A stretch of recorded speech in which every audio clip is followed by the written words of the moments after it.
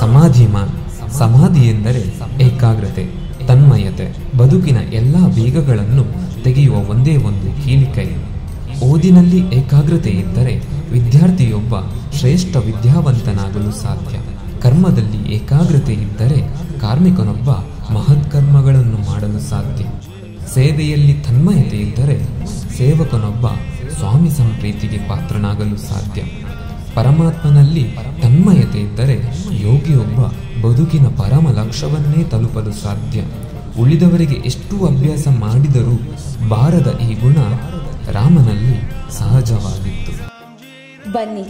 ಅಯೋಧ್ಯೆಯಲ್ಲಿ ನಿರ್ಮಾಣವಾಗುತ್ತಿರುವ ಪ್ರಭು ಶ್ರೀರಾಮನ ಈ ರಾಷ್ಟ್ರ ಮಂದಿರದ ನಿರ್ಮಾಣ ಕಾರ್ಯದಲ್ಲಿ ತನು ಮನ ಧನಗಳಿಂದ ಸೇವೆಗೈಯೋಣ. श्रीराम जय राम